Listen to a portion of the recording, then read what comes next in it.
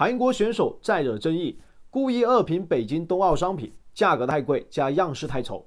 大家好，欢迎收看本期的阿三砍球，我是阿三。在视频开始前，辛苦大家长按底下的关注和点赞按钮，让阿三的视频给更多关注北京冬奥会的粉丝看到，谢谢大家。接下来和大家说一下，那么最近呢，韩国选手呢去恶评北京冬奥会的一些相关周边商品，引起了巨大的一个争议。我们知道，目前的北京冬奥会已经是进入收官。那么，对于我们所有观众来说，其实啊，本届北京冬奥会呢，可以说是相当成功，也受到了很多外界的一些关注。在此前的话，很多外国运动员呢来到中国之前呢，其实对中国包括北京冬奥会都不是特别了解，反倒是接受了一些外媒的一些造谣的负面报道，让他们呢可能对这一次的一个出行呢有些不安。结果没有想到，来到北京，来到中国这边参加冬奥会之后呢，才是真香现场。很多的运动员呢，都彻底爱上了这里，爱上了这里的美食，也是感叹北京冬奥会呢，是他们参加这么多一个运动会以来呢，最高质量的一届。所以可以说，从他们这样的一个态度和反应当中，其实就能够看得出来呢，我们目前北京冬奥会从整届的一个举办水平来看，真的是相当优秀，而且是相当成功的。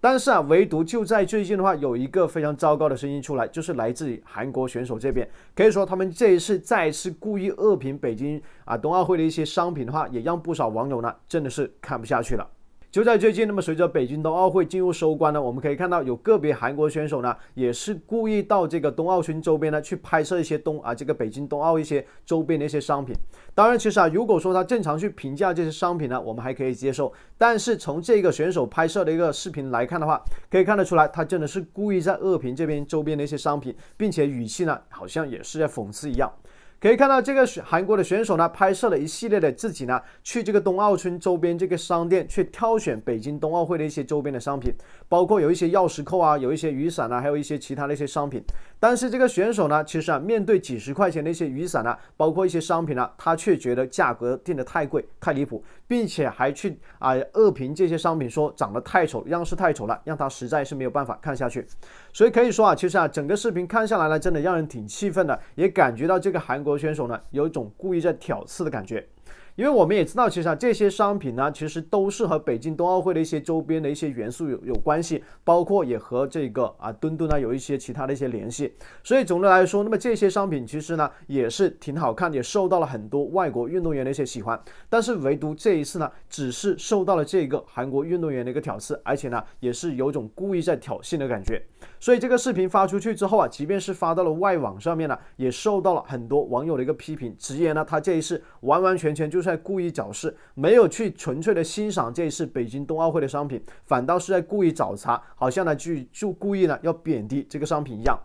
所以说实话，这一次韩国选手呢，无疑是再次招惹了很大的一些争议。那么包括我们可以说呢，回顾整次北京冬奥会，基本上所有的争议，包括一些风波呢，都是这些韩国队的选手给闹出来的。包括前段时间我们可以看到呢，韩国选手车明奎呢，在获得最终的银牌之后的话，好像并不满意，所以最终呢，做出一个擦拭领奖台的动作来表达自己的不满。包括在比赛结束之后呢，居然还被志愿者发现了，疑似把这个吉祥物冰墩墩呢给扔掉这个垃圾桶里面了。所以可以说，他们这些韩国选手所做出的这些做法呢，完完全全就已经违背了一个体育精神，并且呢，和所有的一些正能量的运动员呢所